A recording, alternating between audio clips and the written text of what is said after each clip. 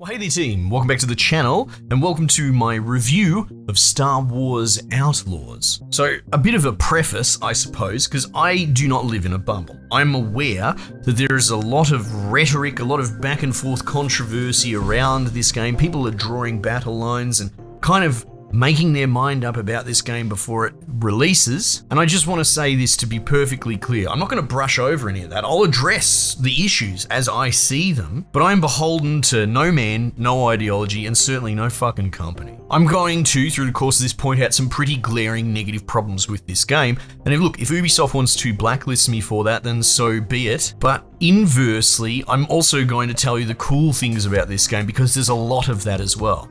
In fact, would I say it's worth your time, worth your money? Yeah, absolutely. I, I do believe that. I've enjoyed my time with it. I've spent 18 hours with this game at the moment, and there's so much more left, but it doesn't actually feel bloated, which is a problem that a lot of these sort of games can have. And it's the reason that I've stopped at 18 hours. It's a soft cap. I think 18 hours is perfectly reasonable to render at least a verdict. And if I do play more and complete the game fully, I'll probably do a follow-up video in the future. But I've kind of enjoyed every second of it. There's some eye-rolly cringe shit in here, right? And there are some graphical issues too. And I'm not going to bury them so much as address that I'm going to address them, but I don't want to lead with just negatives as well. There are a lot of systems and a lot of moving parts this game, and I only have so much time. So stick around, we'll get to those negatives through the course of it. But know that I think this is a really fun game, and if you fancy yourself just a random normie that enjoyed Star Wars, like the original Star Wars trilogy, and I like the prequels as well because I, I, enjoyed them when I was a kid. And I don't really watch modern Star Wars stuff, I find it all to be kind of crap. But at the same time, I enjoy pretty much all Star Wars video games. I feel that whatever you think of EA, their curatorship over the brand for the past 10 years or whatever it is, they knocked out some absolute bangers. So, generally speaking, I, I don't think that's a particularly hot take. And so, coming into this, my biggest point of curiosity, if anything,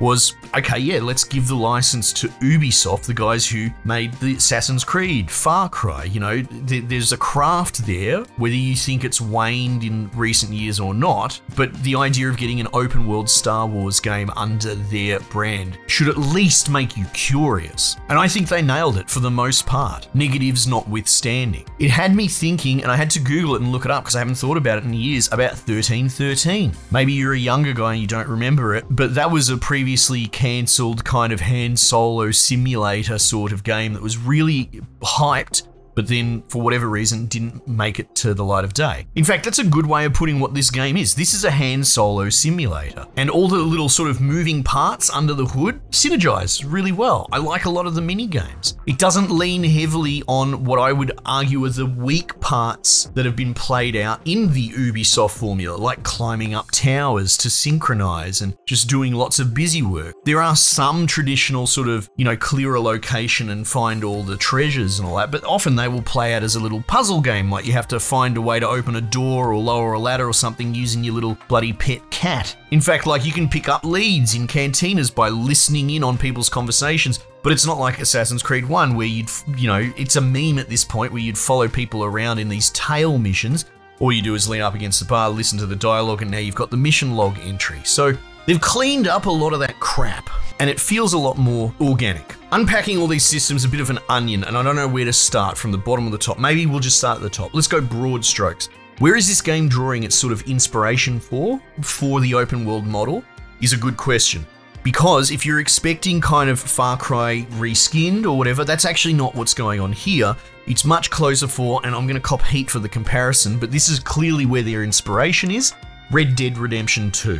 If you're familiar with it, if you've played it, you know, cruising around on a horse, and it's more of an RPG in the sense that it's an action adventure type one, which is less about stat lines and more about enjoying your character, playing dress up a little bit, you know, but but not really about stat lines, not not really strictly speaking. Then you'll get an idea. Now, I'm not saying that this necessarily holds a candle to Red Dead. I, I don't think anything really can, but it does stand on its own right. And it's good to have more games in whatever that space is, the more action open world. I suppose Grand Theft Auto in general is, is probably another good example as well. The overarching plot is just so meh, it doesn't really matter, but in a, in a kind of way, I am thankful for it. I don't particularly care for the, you know, I use the Witcher example of my daughter is in deathly strife and the whole world's going to end. It's like, how the fuck can you do side quests when that is the main motivation. You know, you're going around scrubbing people's pans and clearing monsters out of wells or whatever when the, there's an existential world ending crisis going on. So, what's going on over here, the overarching thing, is essentially that you're a young scoundreless trying to go out on her own, and through a sort of turn of events, you've ended up with a broken up starship that you want to sort of rebuild. And but once you've done that, you're evading dudes that are on your tail. You've got a thing called a death mark on you, which is essentially sort of a system-wide bounty. So you do have that on the run impetus behind you and you're trying to set up the heist of a lifetime in true scoundrel overarching plot. You essentially need to uh, recruit an expert for each part of your team. God damn it, Rick, you son of a bitch, I'm in. And so when the game, you know, gets you out of the starting world and you've got your ship working with hyperdrive, which, you know, it takes its time, it takes a few hours to get through that, you are essentially let off the leash. There's kind of four main planets that you can jump between and the way that a planet is constructed leans, you know, more towards the sort of Mass Effect 2 or Knights of the Old Republic, you know, those kind of BioWare type games of yesteryear, where it's, it's sort of a larger instance that you can play space in. And so within one of these planets, that will consist of a, a, fairly open world instance that you cruise around on your speeder bike, like probably a lot bigger than you realize, and you really want to get around on your little motorcycle. And that will be dotted around with little busy work tasks to do and missions and hidden things. And it's actually quite detailed. There'll be little villages scattered around, and there will be like a main hub of scum and villainy, you know, a central cityscape, which would be almost the king's share of the gameplay there. So the idea of sort of cantina hopping around and being in backroom deals, betting on the trots and playing what is it called, sabacc cards and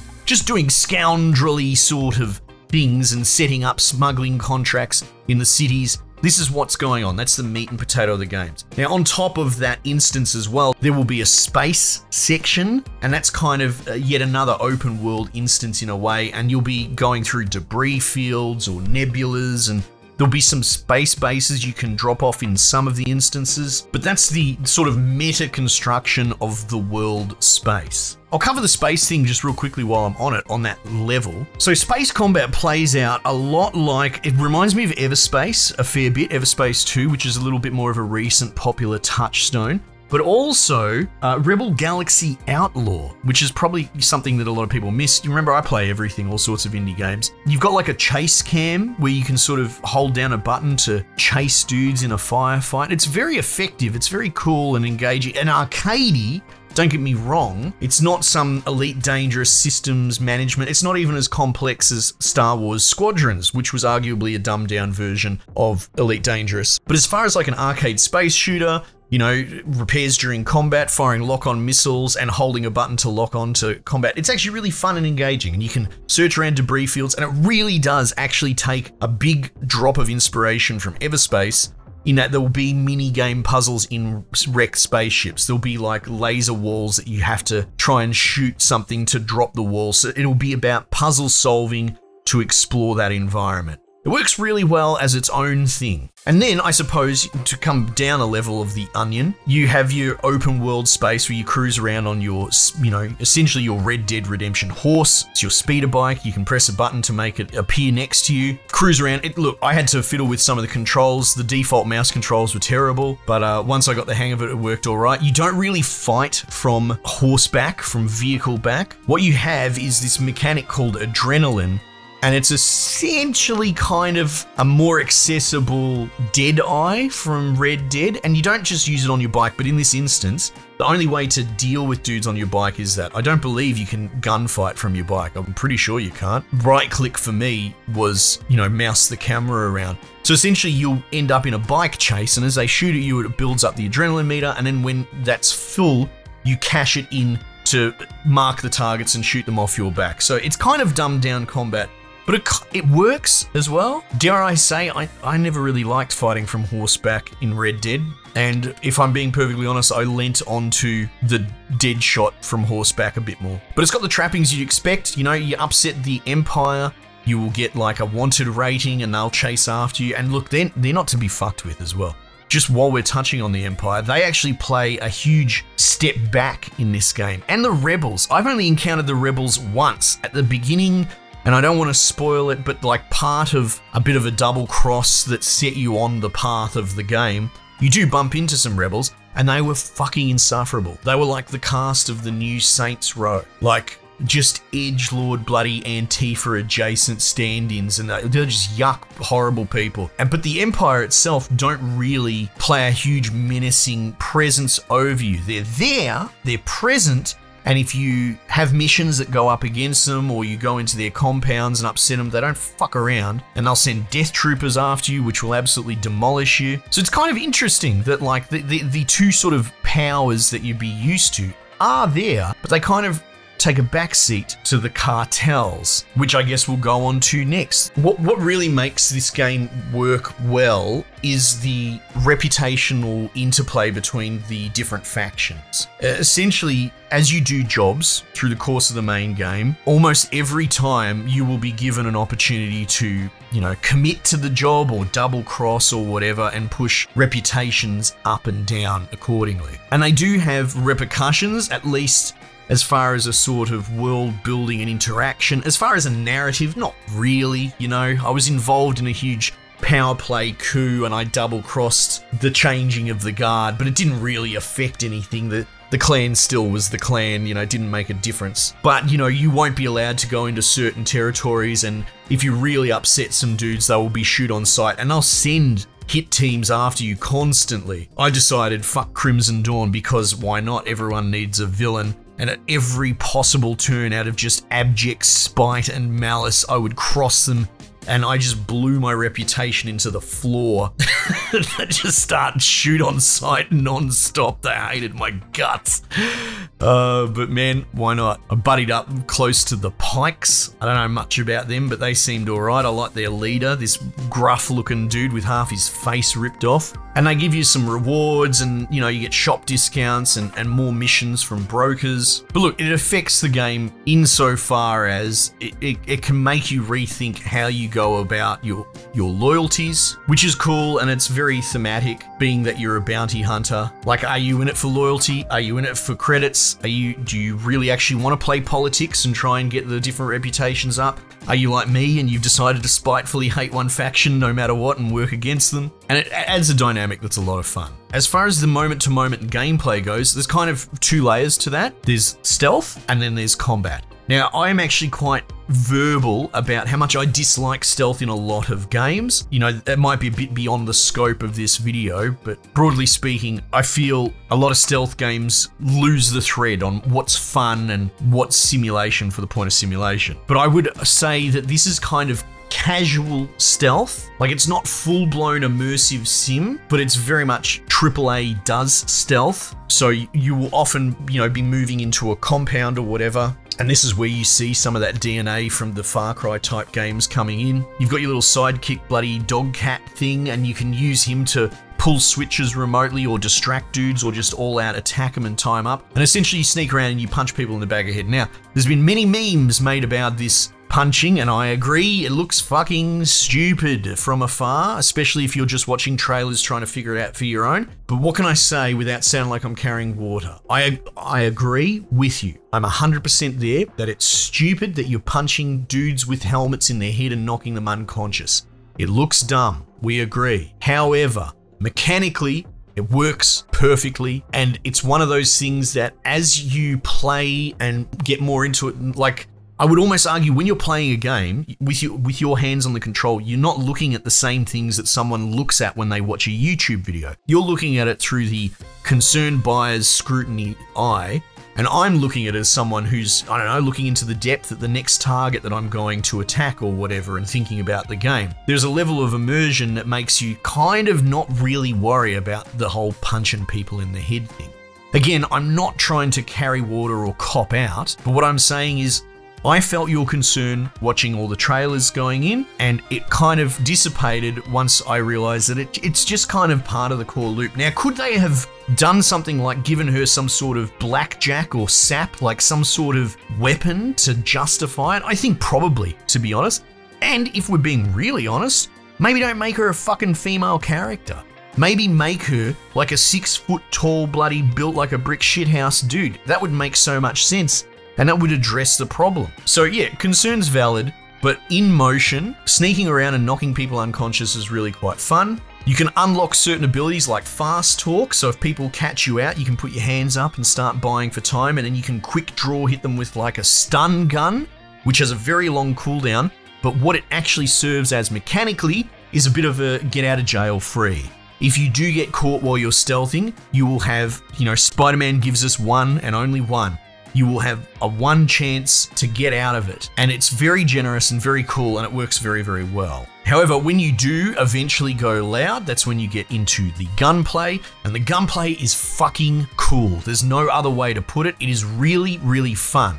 You pretty much just have a pistol, and it is going for a space cowboy, scrappy pistolero fighting style, and it nails it. It really feels dynamically fun it kind of feels like the compilations that you see of people taking down a Far Cry outpost. You know, they'll execute a dude, then throw a knife, and then pull out his pistol and shoot, and then slide down a thing. And you know, this sort of dynamism in the moment gameplay, this actually grasps it, albeit at a more stupid person level, at my level. I'm not someone that's going to try and 100% a Far Cry outpost, but you can do it here. But you still get that kind of fun cinematic power trip when you gunfight here. You hip fire your gun a lot. There is sort of a, a slight zoom, right click, not ADS, but zoom, but you're not going to use that quite as much. You essentially just mag dump with a flurry of bullets, and then you have like an active reload thing that you can do to cool down your gun. You have infinite ammo. You do have some gadgets like uh, you can change your gun to fight like electricity, but that's more for puzzles or killing certain enemies that have shields. But you're generally sliding from cover to cover, shooting away, throwing a punch in. It actually kind of feels like the scrappy, you could say Han Solo combat, but it's almost Harrison Ford combat, right? Because it kind of feels a bit Indiana Jones in this Lucasfilm of old cinematic you know, bloodless violence that's more sort of fantastical, swashbuckly scoundrel type stuff. And that's how it feels. I can't sing my praises high enough about it, but just know that, that that's the core loop between stealth, which works really well, and gunplay, which works great when you eventually have to go loud, or you have forced scenarios where you just have to go loud. But it's really fun, and that's that's all that matters. And honestly, was kind of surprising how much I loved it. I don't know. I suppose the last layer is, you know, the the dog cat thing. He's he is quite cute for sure, but he's functional as well. You can get him to open doors, set off bombs, all sorts of stuff. You can upgrade your skill sets as you go along. But he's a good complement as far as gameplay, and it's all implemented perfectly well. Oh, and at the at the bottom of the gameplay chain, you know, getting to the bottom of my onion that's going forever, you have two sort of mini games. You have door locks, which you open. She's got like a little lock pick thing, and it's this rhythm based. I don't know how else to describe it, but it works really, really well. It actually changes it up because I think lockpicking is the most fucking yawn mini game ever in a lot of these games, and it's never been changed for bloody 10 years. Everyone does the same lockpicking mini game. So this has a different mini game, which is rhythm based. It'll be a mixture of ticks and boops to put you into a rhythm state. So the tick is sort of a bar reference, tick, tick, tick sort of thing. And there'll be beep, a beep, beep, a beep, a beep, beep. And then you'll just listen to it on its sort of four beat bar cycle and then you just have to slap the rhythm back into it as a call and answer. I sound like an idiot explaining it, but in practice, it actually works really well and it's a very welcome change. And then you've got hacking terminals the same thing. Boring as fuck in every version that they do for the last however many years. But this has a system kind of like Mastermind, which is a board game of yesteryear that you'd play growing up. I don't know how else to describe it, but it's good. I like it a lot. Actually, you know what? I think one of the Fallout terminal hack games had something similar, maybe with a hidden letter mechanic. Actually, now that I think about it, it might be closer to something like that, like Fallout 3 terminal hacking, but it's been a long time. Okay, that's the gameplay from top to bottom, and I've been very thorough with it. I will point out that the way that you get abilities in this game is very clever and unique. There will be sort of specialist, let's call them like premium side quests and you'll go and you'll befriend said person and they will give you a suite of upgrades and they will have requirements associated with them to unlock. For example, the smooth talking thing I was talking about, if someone sees you stealthing, you don't have that by default. You have that by meeting the expert, befriending them, accepting the requirements, which will be something like, I don't know, break into X boxes or pat Nix six different times or something like that. So it's it's a very clever way to engage with side quests and to outsource character development mechanically. So it's not just follow the main quest, it's more stop doing the main quest to go and unlock smoke bombs because you have to do that by learning how to do it off of uh, a side quest character. Again, a lot of really clever ways to change up the traditional formula. And then, of course, there's the sort of gambling mini games where you can bet on horses, and I, will do that until the machine tells me I'm not allowed to do it anymore. And you can find inside info on rigged races. And then there's a Sabacc card game, which is kind of like a Texas Hold'em two two card pickup kind of kind of game. It works. It's cool. It's fun. Um, it's all quite addicting. But yeah, I think all in all, that's pretty much how the game works. This video is turning out to be very very long, but I will, as promised, point out some glaring negatives. There's something wrong with aspects of the graphics, and it's not my hardware. I'm certain of it. I've tried all different settings, and I'm I'm running pretty much max. You know, I'm on a 40 series. I don't have my stat sheet in front of me, but this shouldn't be an issue. And the fact that a lot of this game looks brilliant brilliant. It is by Massive on the Snowdrop engine, and Avatar is one of the most beautiful games I've ever played ever, whether you like that or not, it's still true. And this has aspects of that in the environment. You can kind of see it. You can see it coming across. So you'll be cruising along in your speeder, or you'll be going through like a, a debris field in space, and it looks like a million bucks. It looks like the most beautiful game you've ever played in these moments. However, like I said, there's something wrong with the textures for whatever reason, uh, for like rusted out metal pieces, and unfortunately, a lot of these texture packs or models or whatever are used in star bases and cities and that sort of thing. So it becomes quite glaring having arguably some of the best graphics in current day superimposed against something really weird with muddy, washed out, scrubby stuff. And then you add in the, the human face models. There's been much made about this about whether they're uglifying women on purpose. That may be true because we've got another point we'll get to after this. But what is actually much more probably likely is whatever machine they're putting the fucking face models through, that's broken as anything. Every human face looks gross and garbage and crap. And, you know, look, light spoiler, but apparently she's shown in the trailers. The Emilia Clarke character from Han Solo had popped up for a quick sort of cameo. So, you know, you can superimpose her face against the actress she's based off of. And while they put some makeup on her, arguably um, an attempt to make her prettier than the main character, she still looks like hot garbage as well. So I don't know if it's necessarily that they're trying to uglify the main character as such, but I just think for whatever reason, the, the devs have become colorblind to the issues with their own in engine, or maybe they're just going to launch it and not address it. Who knows? And then when you stand this against the alien faces, you know, you've got the Greedo species, uh, you know, the bum face ape alien type dudes, and then you've got those those guys that Lando had a co-pilot. You know, they kind of look like they're wearing a face over the top of their face. But these dudes all look one to one from the, you know, 70s prosthetics of the era. They look so good. And if anything, that just makes the human face models look even more shit. So I don't know what to tell you. However, and I've, I've left the best till last. I'm not trying to hide it away or anything like that. I'm just, there's so much to cover, and this video is already too long. Here's the thing that everyone's gonna miss that none of the bought reviewers will tell you, and arguably this will affect the people the most concerned about controversies. The Force is definitely female. At first, I thought, hmm, this could be happenstance, but it went from that to coincidence to very overt almost gaslighting. I reckon at this point 75% to 80% of all the main characters that I've encountered, you know, from side quest stories, anyone, anyone of any significance is female.